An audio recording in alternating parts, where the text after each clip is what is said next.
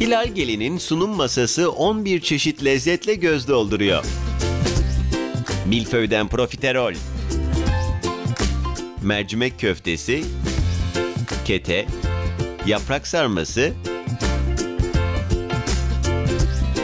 börek, mercimek salatası, kremalı kek ve tiramisu masadaki lezzetlerden bazıları.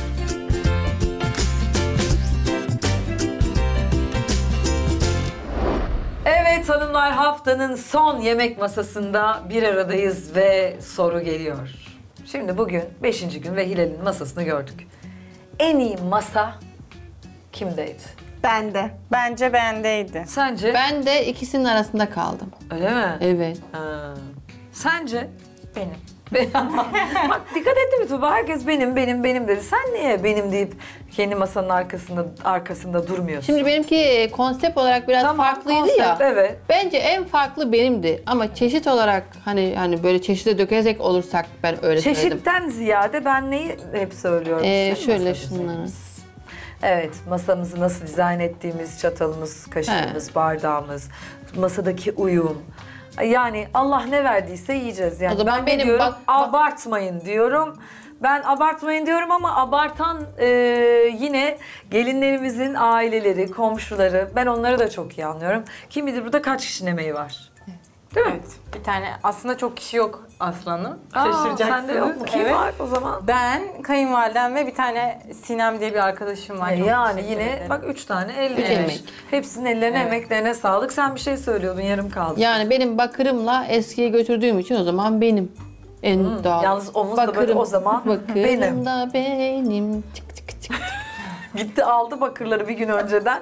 Benim diyor. Hele kuru soğan efsaneydi. Evet. Aslı Hanım sanırım herkes emek verdiği şeyi beğeniyor. Evet. Öyle değil mi? Evet. Bence de.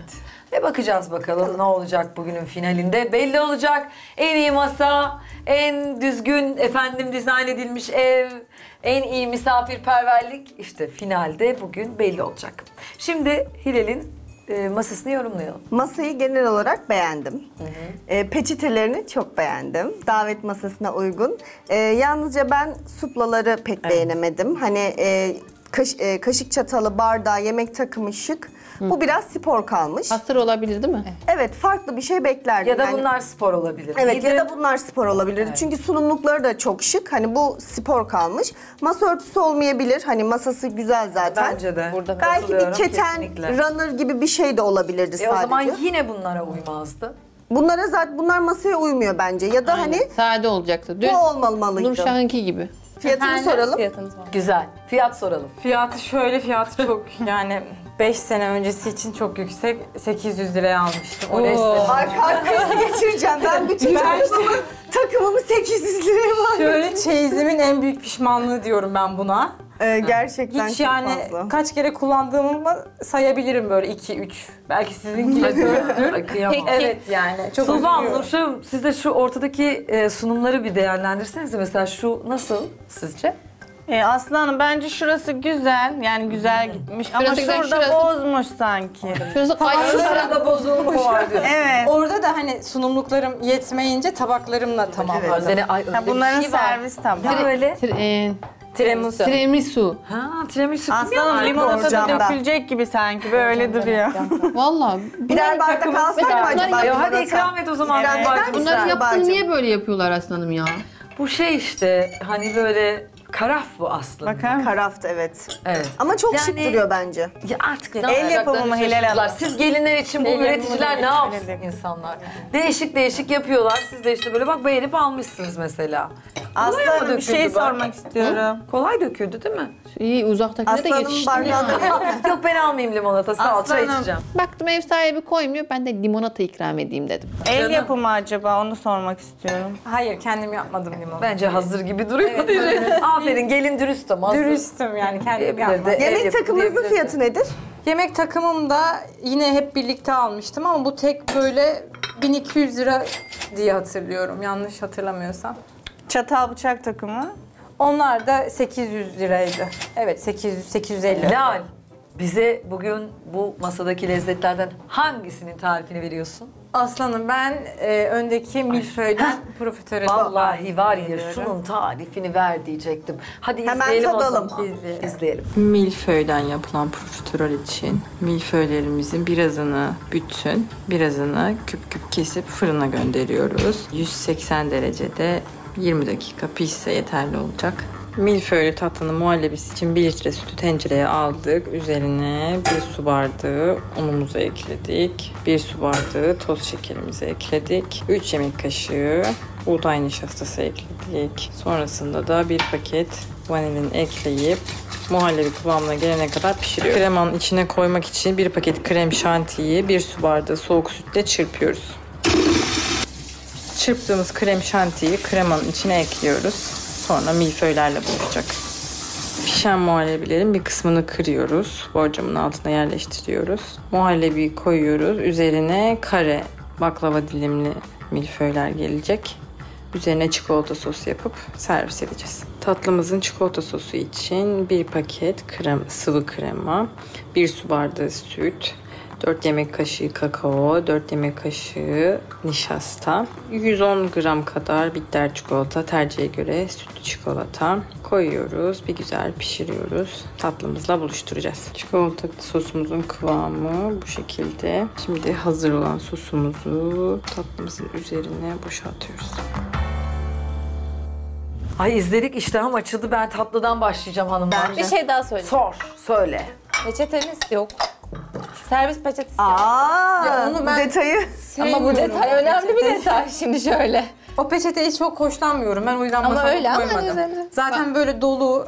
Meryem bana bir mercimek köftesi ver. Bir de şey servis gereçli.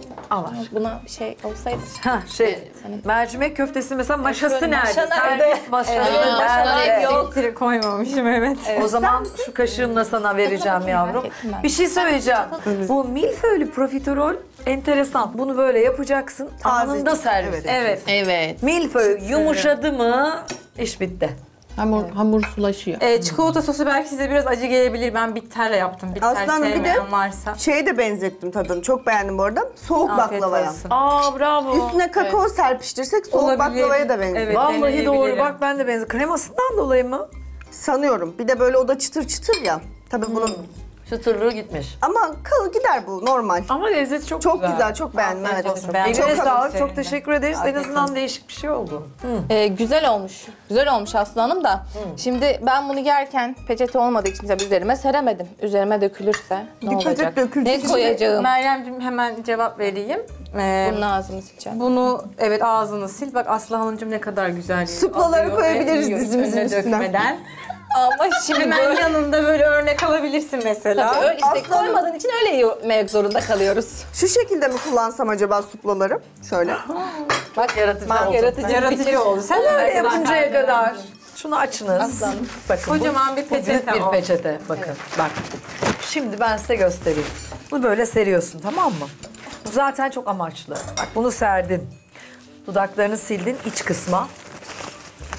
Tekrar kapattın. Tekrar peçete olarak kullandın. A4 kağıdı gibi. Bunun sistemi budur. Gerçekten budur. Aynen. Evet. Yani kumaş peçete O diyelim ki yüzden yok. mi böyle büyük yapılıyor? Ee, aslında hep Belki dediğim şey bu. Kumaş peçeteleri, lütfen üreticilere buradan seslenmek istiyorum. Yani e, şey gibi yapıyorlar, dolap içine peçete gibi böyle. Hani peçeten var mı? Var. Hayır efendim. Böyle büyük yapacaksınız. Böyle büyük yapılacak. ben bugün, Tamam mı? bugün öğrendim. Bu Tuğba'cığım e, bu şekilde konmaz zaten. Hani Çok düz saçma olarak geliyor. konmaz. Evet. İkiye katlanır. Tamam mı? Evet. İkiye katlanarak bu şekilde kucağınıza koyarsınız Meryemciğim. Dudağınızı sileceksiniz. Bu şekilde silersiniz. Sonra tekrar içe bu kumaş ya içeride böyle durur ve devam edersiniz yemeğinize. Sistemi bu peçetenin anlamı ve kullanım şekli Böyle. budur artık buna da bir noktayı koyalım. Hepimiz Aslı öğrendik. Hanımcığım ben bir Hepimiz şey öyle. demek istiyorum. Lütfen. Ee, dün bazı puanları yediremedim. Bugün yemeğe geldim. Şuradan sarma istiyorum. Verebilir misin? Hemen ben. Ben de Üstad'dan bir şey diyecek sandım. Ben de Neyse en azından yine pişmiş bir sarma. evet pişir. O Evet yüzden sarma bugün Üç de kere yine kontrol et. Hemen. Üç kere kontrol et. Börekten. Tabii ilk günkü şeyden sonra. Unutulmadın Meryem. Öyle Yok. bir şey yaptınız ki Filiz, Filiz Hanım'la. ablam hiç unutulmadı. Ömrüm boyunca unutmayacağım. Evet yani gerçekten. unutulmayacak. Unutulacak gibi değil. Vallahi güzel. Her şey için ellerine kollarına Afiyet sağlık. olsun. Bu Aslanım. esnada mutfak. Evet ben de onu Mutfak. diyecektim var ya nasıl anlıyor? Gözümden anlıyor ya. Süresi doldu onun. Yağlar kabarmıştır çıkmaya hazırdır O artık. zaman şey sen ben onlara onu, bir bak. ben onu hallediyorum. Düğünde buluşuruz. E hadi. Tamam hadi görüşürüz. Müjdeyi ver bana çıktı diye Tuğba. Her şeyi bilir bu bir gelin